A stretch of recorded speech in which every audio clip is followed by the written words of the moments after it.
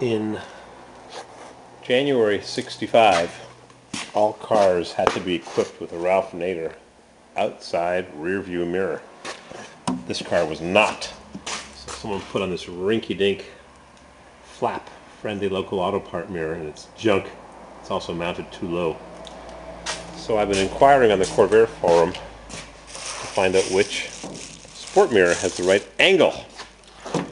What I really like is the 1970 Oldsmobile bullet mirrors. They're pointy at the front, one year only, not rounded like this. They've got a duck bill, but they're really expensive, and I don't know if they're the right angle.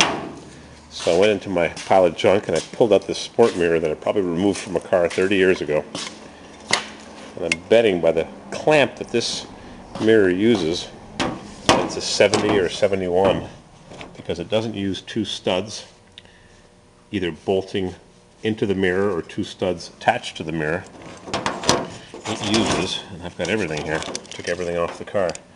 It uses the bracket that they used in the late 60s, mid 60s, through the early mid 70s. Even have the screw. I saved everything. Again, I probably removed this in the 80s. So it is not right. They also have angled gaskets, but I need more than an angle to fix this. I've got to approach the vehicle slowly because I got this thing swinging here into my nice paint job. So I tried to take some pictures of it, but it's hard to portray in a picture. If you mount it, try to get my fingers from not blocking. Clunk. If you mount it so that it's horizontal on top, you got a big gap on the bottom. Now it's hard because I got the cable in the way, but there, that's horizontal. You got a big quarter inch gap on the bottom and you can't file it or sand it or grind it down because then the bracket won't work.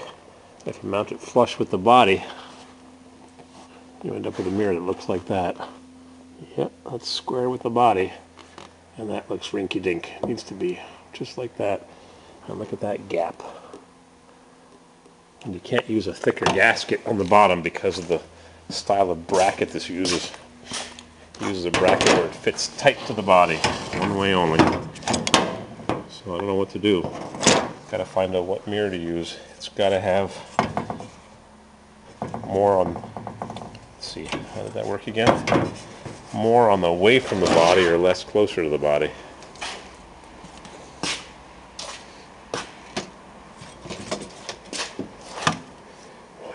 Cold in here.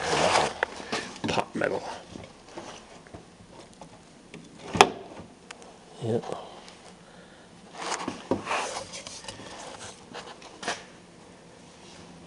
There's flush with the body and crooked. Looks terrible.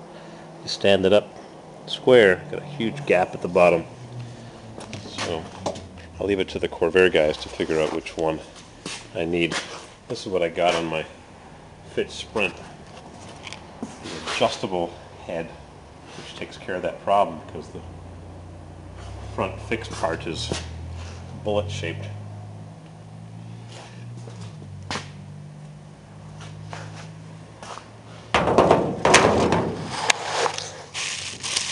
Lucas flamethrowers are original.